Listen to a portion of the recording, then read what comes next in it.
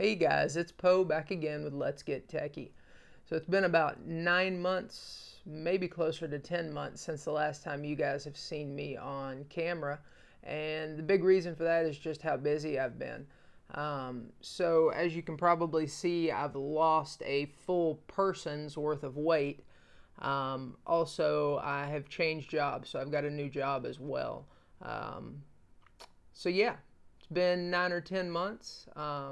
Did upload a video about two weeks ago, and that was the Ryzen 3900X on a water chiller. Um, today we're doing a build, um, as I'm sure you probably gathered from the title of this video. And this is an all AMD build in a Phanteks Shift X, and it is using a custom loop for cooling. Um, there's also going to be a second part to this video. This video is mainly just going to be the build of the computer.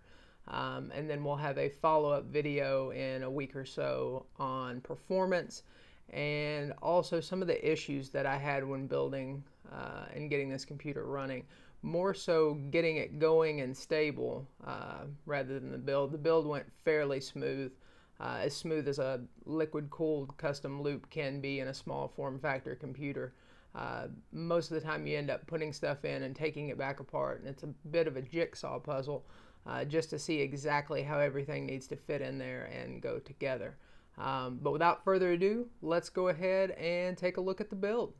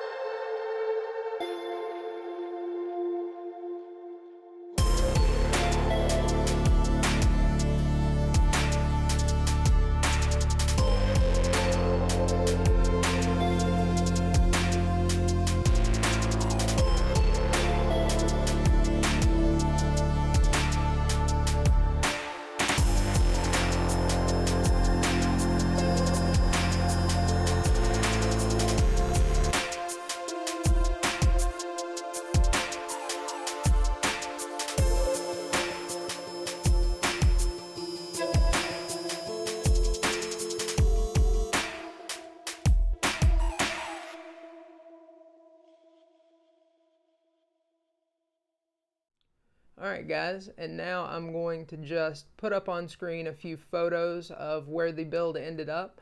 Uh, so this wasn't actually my computer.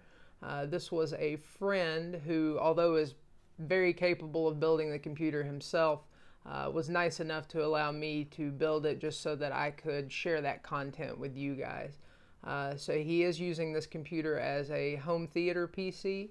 Um, I totally get that it's overkill for that, um, but kind of everything we do around here is a little overkill, and that extends to the uh, the friends that I have. They tend to do the exact same thing. So uh, try not to bash too hard for it being a home theater PC and being right up there with a with a very nice gaming machine or a dedicated gaming machine for most people.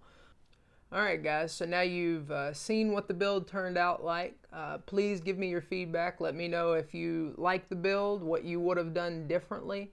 Um, and don't forget that we are going to have that second video coming up in the next week or so uh, just to show some of the issues that I had and then the performance of the build and how it turned out. So um, if you've got any suggestions or comments for this video or anything you want to see in the next video, please let me know. Leave a comment down below. Make sure that you like this video if you liked it and subscribe if you haven't already.